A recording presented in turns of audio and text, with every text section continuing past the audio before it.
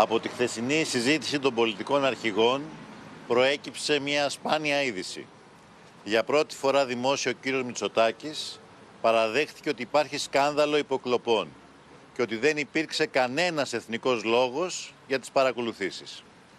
Αν όμως δεν υπήρξε κανένας εθνικός λόγος για τις παρακολουθήσεις, πώς ο ίδιος επικαλέστηκε εθνικό απόρριτο προκειμένου να συγκαλύψει την αλήθεια στην Εξεταστική Επιτροπή; Και γιατί η κυρία Βλάχου που χωρίς κανέναν εθνικό λόγο παρανόμως υπέγραφε η εισαγγελέα της ΕΕΠ τις ε, παράνομες αυτές παρακολουθήσεις. Γιατί παραμένει ακόμα στη θέση της; Και γιατί εννέα μήνες μετά η δικαιοσύνη δεν έχει αποδώσει καμία ευθύνη, καμία κατηγορία σε κανέναν.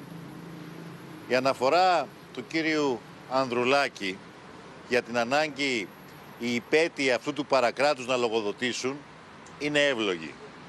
Μόνο που είναι εξίσου εύλογο ότι με κυβέρνηση της Νέας Δημοκρατίας δεν πρόκειται ποτέ αυτό να γίνει πράξη. Μόνο με προοδευτική κυβέρνηση μπορεί να γίνει αυτό πράξη στις 22 του Μάη. Ας αναλάβουμε λοιπόν όλοι μας τις ευθύνες που μας αναλογούν.